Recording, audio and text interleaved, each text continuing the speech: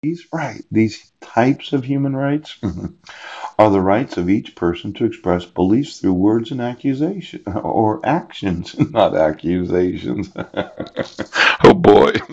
now, uh, the thought, conscience, and religion. Other civil liberties include the right to vote and run for office. Now, I I happen to be having my human rights violated. Excuse me. Yes, and um, it looks like uh, the civil liberties of the human rights of being a human being. Yes. Um, they, the right to vote has absolutely no meaning. Yes.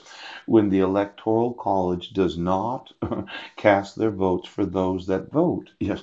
The- well, there's no use running for office if they're not going to cast their votes as electors of individual states. Let's say you decided to run for office. and then after the popular vote and all of those amendments, the elector said, nope, it does not matter that you campaigned. It does not matter that you raise contributions to your election. It has no meaning at all, all of those voters that contributed to your individual campaign. Hmm. Now, if I went through the campaign contributions of each and every individual that ran for office, yes, the electors, do they vote for president and vice president or do they vote for whomever they want? Why don't you give me the campaign contributions of the actual vote of the electors in each and every state of the United States where somebody named Faith was uh, got a vote of one of the electors? I'd like to know how many people contributed to her campaign for president.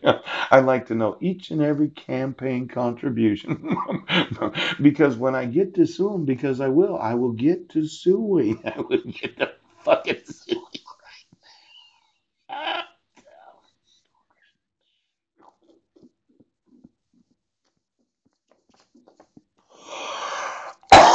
I would say that the electors yes, completely disregarded the vote of the actual citizens in the election, disregarded the campaign contributions of those that ran for office.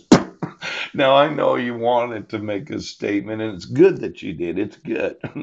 But when I heard that you decided to appeal the thousand dollar fine, I thought this state for sure was liable for you being able to. Let's say I sued the Washington state.